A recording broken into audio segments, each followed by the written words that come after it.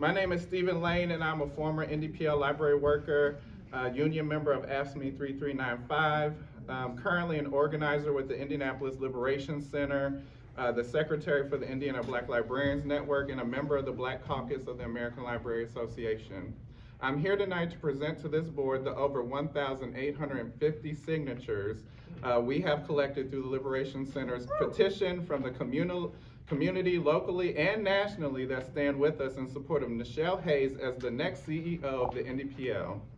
We have such significant people standing in support of Nichelle Hayes, and some of those people are 120 staff at IndyPL, including uh, managers and supervisors, 29 former staff, 148 outside library workers, two former board members, signatures uh, uh, such as Tamika Catchings, who was on the Indiana Fever as the owner of Tea's Me Cafe, A'Lelia Bundles, the great-great-granddaughter of Madam C.J. Walker, the president-elect of the American Library Association, Emily Drabinski, uh, Chicago professor uh, William Ayers, the reformer, uh, Reforma president, even the past president, Kenny Garcia, who is also the National Association to Pro Promote Library and Information Services to Latinos and the Spanish speaking, foundation donors, numerous officers and members of the Black Caucus of the American Library Association, members of the Special Olympics, Indy Pride, Southern Poverty Law Group, Immigration Advocates Network, Go On Girl Book Club, Indianapolis Kwanzaa Committee, Indiana Youth Group, DJ Kyle along with WFYI,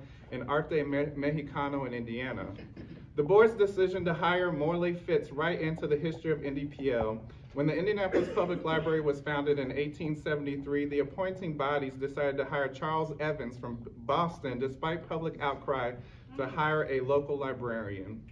Evans was eventually fired from his job for a disagreement with the board, and IndyPL did end up hiring a local librarian, Eliza, Eliza Browning, who was responsible for getting Carnegie to build the beautiful central library we have today.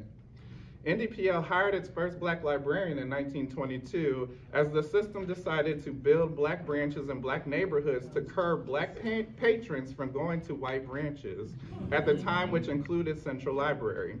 Lillian Childress Hayden Hall was that first black librarian who started the Dunbar branch and later the Crispus Attucks branch. 100 years later, and we are close to having our first black woman CEO of IndyPL. The board's pick to hire Gabriel Morley reminded me of a librarian from the 1930s known as Mabel Hunt, who on the surface seemed pro progressive, yet actively tried to get black children out of her branch, which was located on the north side of Indianapolis. She kept names and addresses of these children to submit to the library director to see if she can get them removed from the branch and a book station set up uh, at their schools when they can pick up, where they can go and pick up and return their library books. Mabel Hunt also went on to publish a children's book about black children who grew up in rural South uh, America, just as this board tried to hire Morley, who wrote an offensive book involving a black teenager named Ray Ray. This board has the chance to rectify the wrongs of history and change its course forever by doing what is right by this institution, the city, and library workers paying attention to this issue all over the country.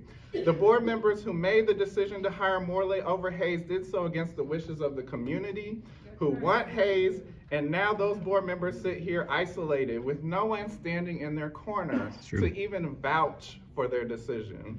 This board cannot even explain to the community why they chose who they chose, nor will they explain after Morley declined the offer why an offer has not been extended to Nichelle Hayes. Yep.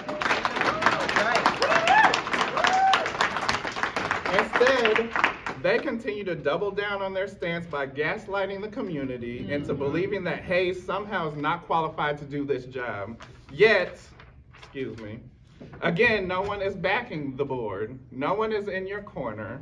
No one is here to stand up and fight with you except for that, that lady. Um, if, the public, if the public library is truly the cornerstone of democracy, then let the board put that into practice by listening to their patrons. The community will not stop in our quest to create a more just and equitable public library system for all. And that begins when this board extends an offer to the People's Choice for IndyPL CEO, and her name is who? Nichelle Hayes.